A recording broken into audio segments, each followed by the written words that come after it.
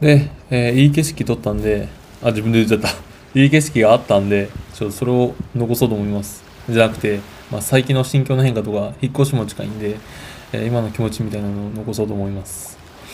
で、まあ、今不安とか、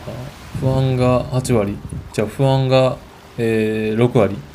で楽しみ、えー8割っていう感じなんですけど、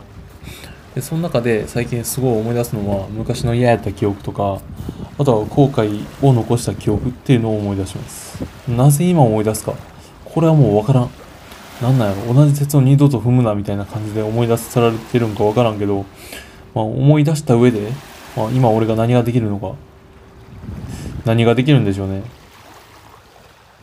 あこれからも YouTube ずっと上げてって目標どんどん達成していきたいなっていう思いが今強いんでそれでとりあえずやっていきます。